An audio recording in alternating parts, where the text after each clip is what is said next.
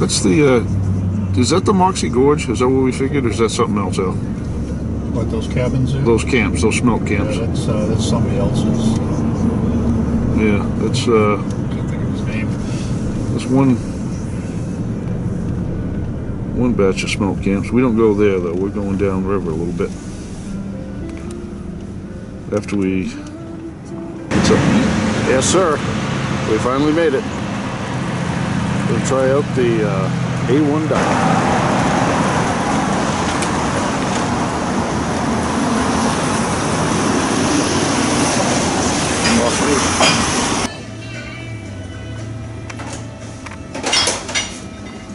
That's what you're looking for. One on the other side, on the inside here. Typical night in Gardiner, Maine. We stopped at the A1 Diner. Bells and whistles going off. This place is really, really a lot of fun. If you've never been here, totally recommend. This is uh, old school. Came up here in 1947. It's been in service ever since, and it is the real deal. If you're uh, into the old diner scene. And There's our lovely waitress. She very, very helpful. More hot water for you there.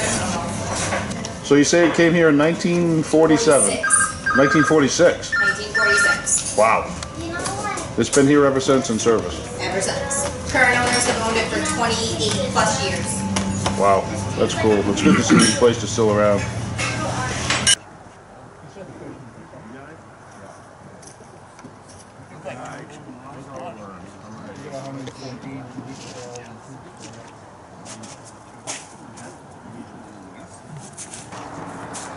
Here it is.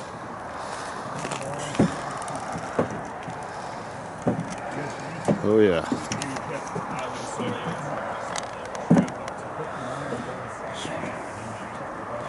Got the stove all lit.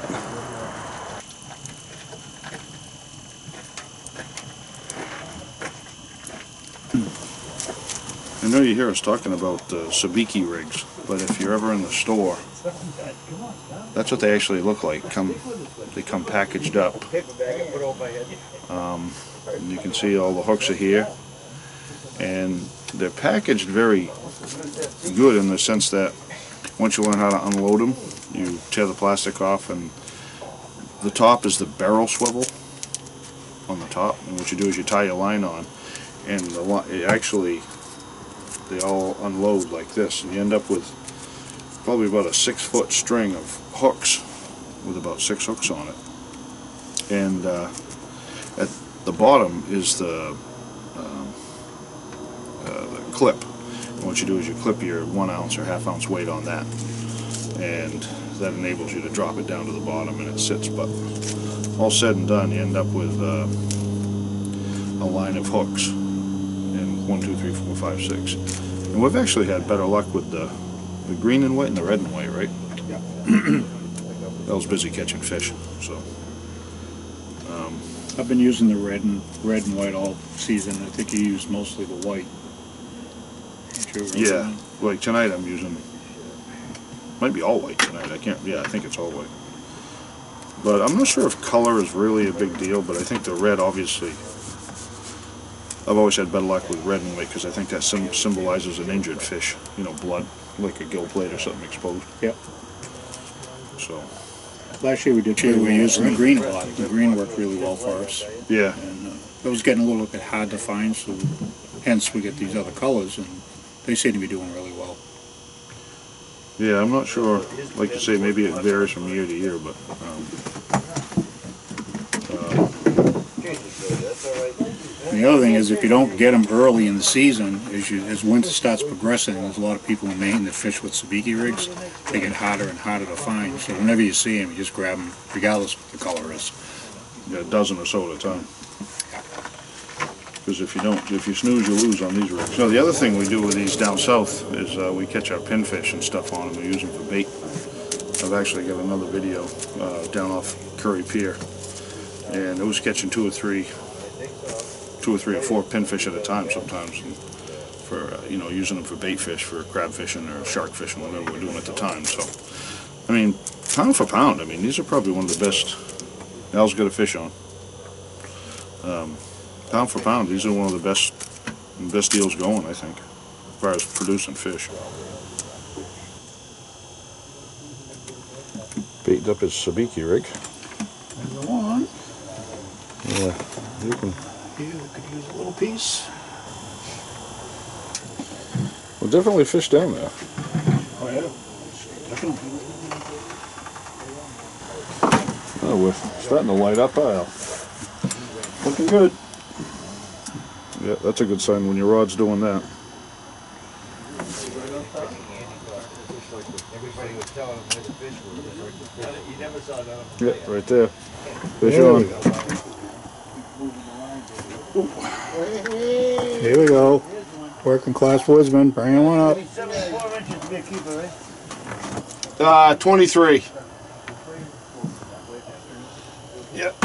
Nice little smelt. Trick of that sabiki rigs is not getting them tangled. You get six hooks. So we basically. That's the hardest part, don't you think, Al? I think so. And uh, It's a good job. See what he's doing is unhooking his line from up there that keeps the weighted sabiki rig with six hooks hanging straight down. Keeps us from getting tangled.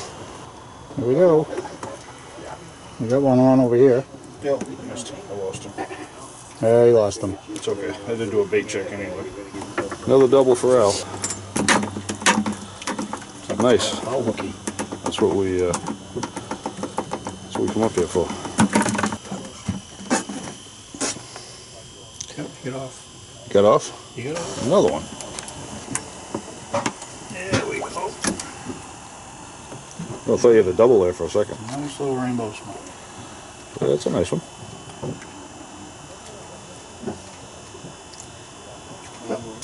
Nice size. Yeah.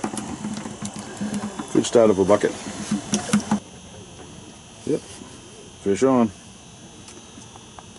Hold on a sec. Shout out to Tom. The doctor is in the house. You heard that. It's a shout out to the migrating moose, or Tom. And uh, we're trying out, uh, what's the other stuff you got there, Al? That's the, Actually, the doctor has a supplement. yeah, um, that's the apple pie. It's apple pie. Yeah, and we're, eh, we're, we're not blown away by it, but it's pretty good. Yeah, it's not going to go to waste, but No, we prefer the other. Right, I, I need ice cream with this one. Pick up a double. Yeah. Not this time.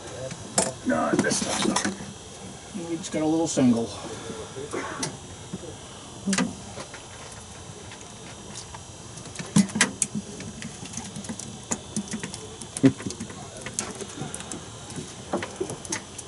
Want to let Matt know that that's how it's done. You hear that, Matt? Next time we come in for a bottle of McGillicuddy. My church. I mean, my, my house is closer than from to the bank from the river, we put goldfish on. And my church in back, yeah, don't have.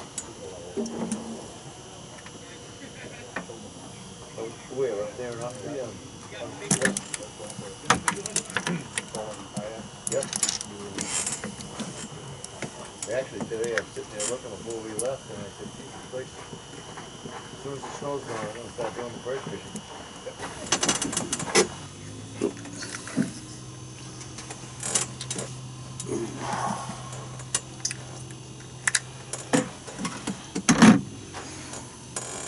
That's 88. 88. Yeah, what, what's that count? Unbelievable. Fighting right to the turning, bud. Mano, mano.